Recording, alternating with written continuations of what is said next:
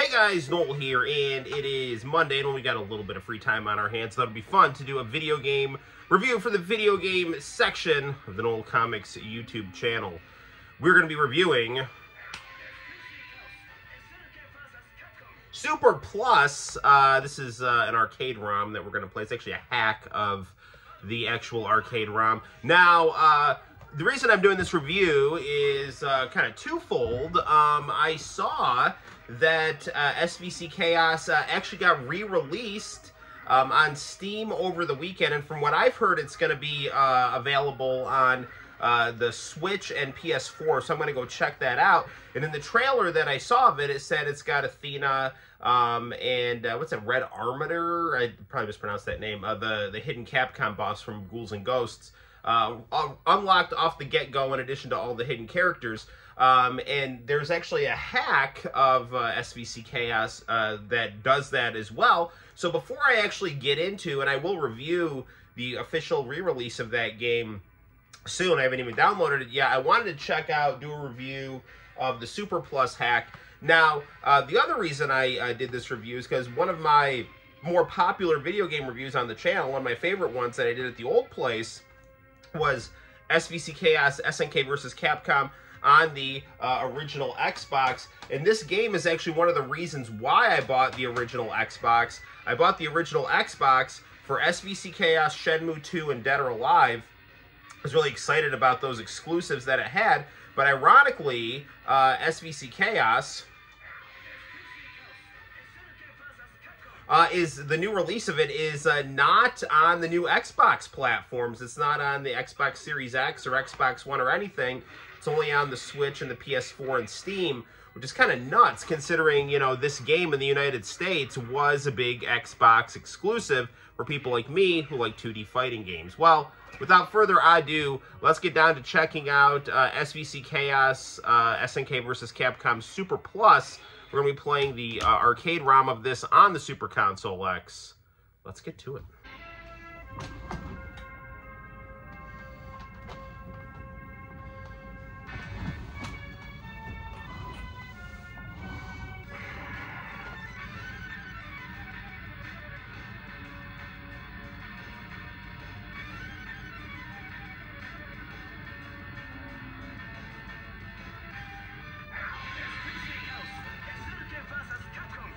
Okay, now this game um, has a very kind of distinct aesthetic uh, compared to the Capcom-made offerings and even the SNK Neo Geo Pocket Color offering uh, of uh, SNK versus Capcom or Capcom versus uh, SNK.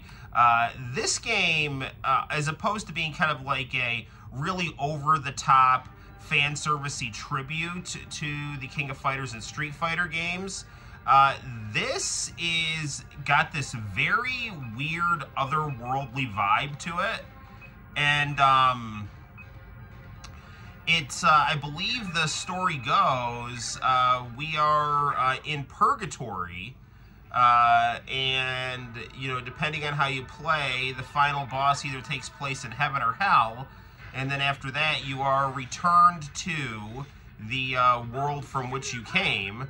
Uh, so Athena from the, the Famicom Athena is the SNK boss. And we're fighting Earthquake right now. Now this, I believe, has 36 characters, and there are some pretty nice deep cuts here. Um, you know, we get Dimitri from Darkstalkers, we get Earthquake from Samurai Spirits. Um, we get Rock, uh, no, we don't get Rock. We get Zero uh, from the Game Boy Advance Mega Mans. Um, so lots of really just weird stuff. And um, it, the thing I like a lot about this game is that it depict. This was actually a Neo Geo game. This is one of the last Neo Geo games. Came out in 2003, and I was always into these types of games. Um, the thing I liked a lot about it is it used the Neo Geo aesthetic to show uh, the the uh, the Capcom characters, which was really interesting. Um, and I thought it did a really nice job of showing that. The gameplay is very good. I really like Athena um, to play as her because you can just be like really cheap here. I'm uh, I'm not one of these people that's like, oh, this game is busted, it's terrible, throw it out. Like, no, I mean, I don't I don't care. I just like the game to be fun, you know. And if you want to be cheap, go for it. If you want to play competitively with an even playing field, go for it. Um, this game had uh, also some really cool, uh, you know, things where characters would have like kind of custom transformations. Um, so that was pretty cool. Oh, I'm fighting uh, Balrog here, Vegasama. this game, okay, so the Capcom games did everything in the King of Fighters 3 on 3 format. This game, the SNK Neo Geo console, Capcom versus SNK, does everything in the Street Fighter format. So, you know, SNK uh, was doing things the Capcom way, and, uh, you know, Capcom did things the SNK way. So this is much more like Street Fighter 2, whereas, you know, the Capcom games were much more like King of Fighters. So it was a nice kind of utilizing your rival's style for your offering. Um, again, like the Capcom games looked, you know, beautiful, big, you know, vibrant anime sprites, and I, I don't know. I think it's just kind of interesting how you know SNK decided opted for like the kind of the two and a half D, uh, really highly detailed Neo Geo sprite art here. Um, you know, it's a very old school, but very, a very, very well done this game, this cartridge on the Neo Geo AES is like this the price of a car. As she turned into the Famicom Athena. See, look at look. I mean, it's just so cool seeing how Ve Vega in like the, the King of Fighters style, or like you know, uh, you know, like uh, the Street Fighter Alpha Zero games. You know, that was you know one way to see the classic Street Fighter characters in a modern sprite aesthetic using that really beautiful anime style. But it's really cool to see, like, if you were to continue on with the Street Fighter 2 aesthetic, um, it would look more like this. It would look like this because the King of Fighters games use that Street Fighter 2 style. Um, and it's really, really cool because, you know, the Neo Geo was a console, it was hardware that came out in 1990. So this is pushing that 1990s hardware into the 21st century, literally. So now we get to see uh, Gouki right here, Akuma. And also, like Street Fighter Alpha 3, Street Fighter Alpha 3 was uh, notable for having, you know, dialogue with uh, with characters. Uh, but actually, um, that, that really started with the Art of Fighting, which the Street Fighter Alpha series took a lot of inspiration from. And that's really why they put Dan in the game to try to show that, you know, even though we're kind of ripping off the format of Art of Fighting, doing a prequel to Fatal Fury, we're doing a prequel to Street Fighter 2, you know, be, you know, acknowledge the fact also that Ryo and, and you know, Robert play just, you know, like Ryu and Ken, so.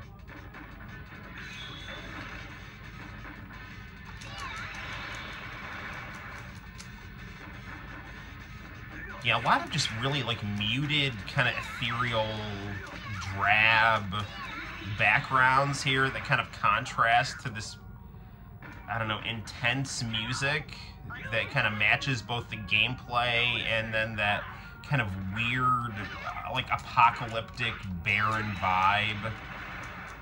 Uh, there was a, uh, Chinese manga um, that kind of expanded upon the lore of this game where you know, talks about how all the characters are in this fighting tournament in the afterlife because Iori uh, killed himself to try to get into this afterlife fighting tournament, and M. Bison wanted to, um, you know, possess Iori, so he like nuked all the fighters.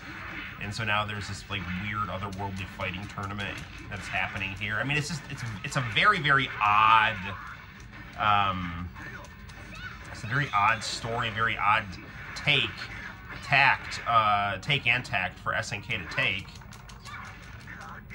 Um, you know, considering how Capcom did the like hey hey hey music champ style gameplay and aesthetic with you know like dance music and throwback stages to the Neo Geo and Street Fighter games. Ah, this is this is really interesting seeing Dan in the SNK style. I mean, you they actually did this with um, I think it was King of Fighters 2001. They had uh, another Robert, which was basically just Robert and Dan's outfit as the one of the hidden sub characters you could use for uh, the Art of Fighting team. Yeah, I really like this game. I, you know, and I, you know, like I said, like eight years ago, I did a review of this game. I was very evident how much I loved this game. Um, this game was viewed as, you know, by a lot of detractors at the time as not being very good. But that's just because there was a big kind of push in American gaming to, you know, do everything kind of 3D, uh, Grand Theft Auto style, you know, which, I mean, that's fine for what it is. But if you're someone like me who, you know, when the Dreamcast was out, was all about Marvel vs. Capcom and Street Fighter Alpha 3, same thing on the original PlayStation you know, I was always about 2D fighting games, and so I really enjoyed. I enjoyed this game and also the other uh, exclusive on the Xbox in the United States, uh, King of Fighters Neo Wave, which was another attempt to use the King of Fighters uh, into the 21st century. But that actually used the uh, Thomas engine.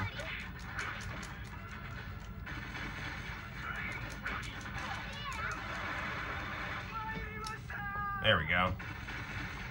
Now, this game has, um, this game has, like Fatal Fury, um, Mark of the Wolves, uh, it's got kind of like two endings. It's like there's the true ending once you fulfill certain conditions in the fighting, and then it's also got um, the kind of generic ending, which is like, you know, this kind of thing that's like, the real ending is out there, you know. This game also is the first appearance in video games of Violent Ken, who appeared in the Street Fighter animated movie. And it kind of expands the aesthetic of Violent Ken to kind of uh, have that kind of Iori, kind of Orochi style vibe mixed with, you know, the Violent Ken character from the Street Fighter animated movie. So that was a real nice deep cut that uh, SNK did. You know, they, they did a lot of really cool, obscure Capcom characters in this game, so I really, really like that. I mean, I, I like the much more kind of standard SV uh, Capcom versus SNK stuff, but the SVC Chaos, they did a really nice job giving the game its own unique aesthetic. Although, I mean, personally, I, I mean, I wish SNK also did a Neo Geo game that kind of had the vibe and style and tone of their handheld uh, one, which was also an excellent game, which we have a review of on the channel. But uh, this this is really cool. Spamming my Little Mermaid tail attack.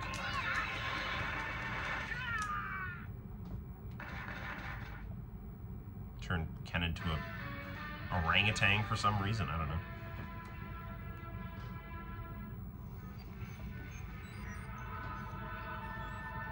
Here comes Ryu.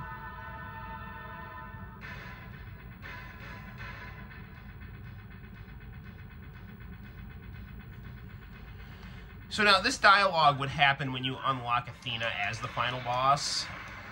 Um, but the actual level you would be playing in is Heaven. I've never gotten the Red Armator uh, to the, the, final. I've never gotten him. I've gotten Athena a bunch of times as the true final boss. There's something you got to do to get him to go to the hell level where you have to like. It's got you got to like finish off your opponents with like a weak attack, so like they're blocking but die anyways. It's kind of complicated. I've never been able to quite do it.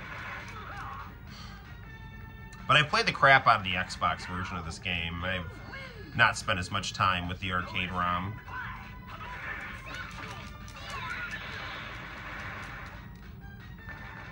I'm curious to see what this is going to play like in the official re-release. I heard they put some kind of disclaimer on the game, like, we're sorry, back in 2003 it was okay to show attractive women in video games.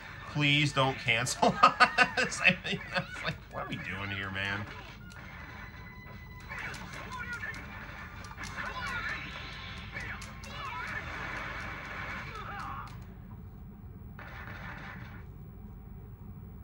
Ryu turns into a warthog.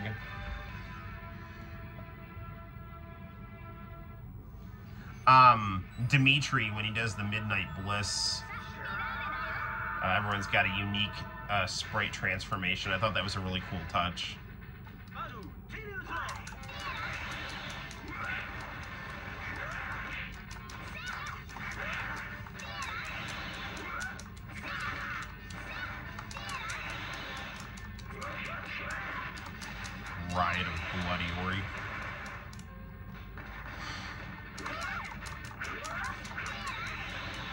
Yeah, depending, like, your Riot of Blood Iori and Violent Ken are like sub-bosses.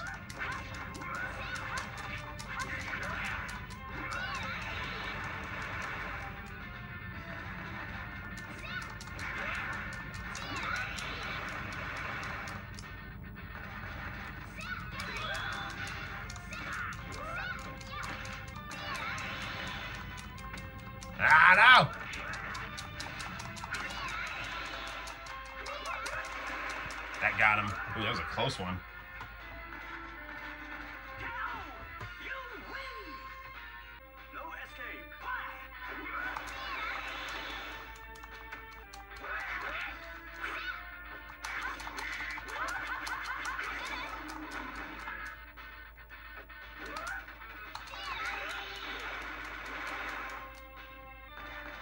See if we can win this. Chinese manga, when it was released, and uh, I think it was dubbed into English at one point. I could be wrong about that, if it's an official or unofficial dub, but I think it was called, like, The Bizarre Encounter.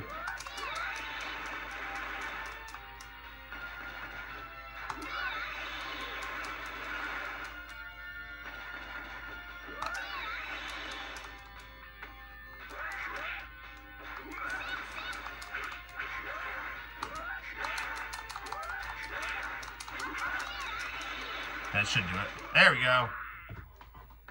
Nice. Uh, now the real challenge is going to be if we can beat Akuma or Serious Mr. Karate. We're fighting Serious Mr. Karate.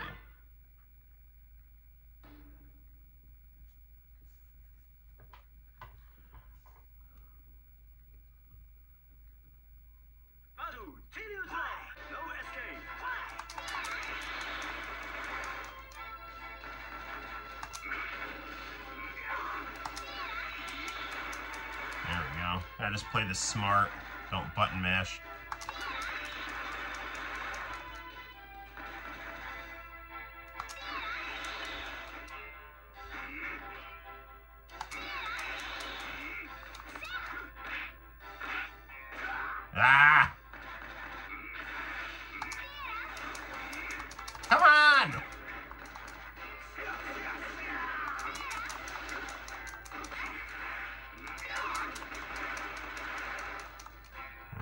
This one here.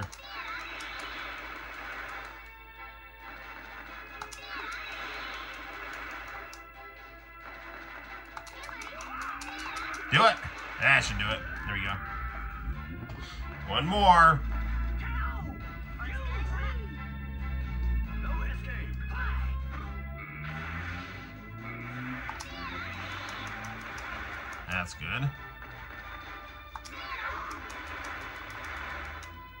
Just gotta time this carefully here.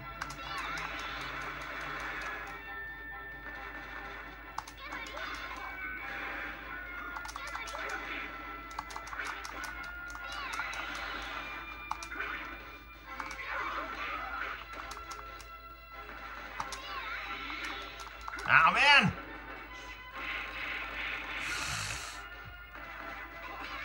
Gotta be careful here.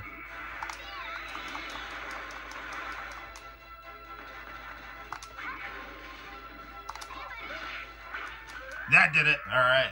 Let's see if I get the true ending here. He turns into a bear.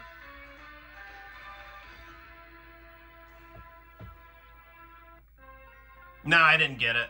I don't really know, honestly, off the top of my head. Uh, I mean, maybe she doesn't even have a true ending because she's like a hidden boss here. Um,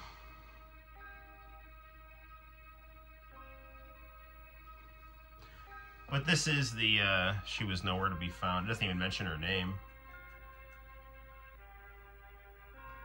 Only the truth can be discovered in the depths of darkness. Well, there you have it, guys. I love the I love the closing credits music on this game. So I'll sit back and listen to it.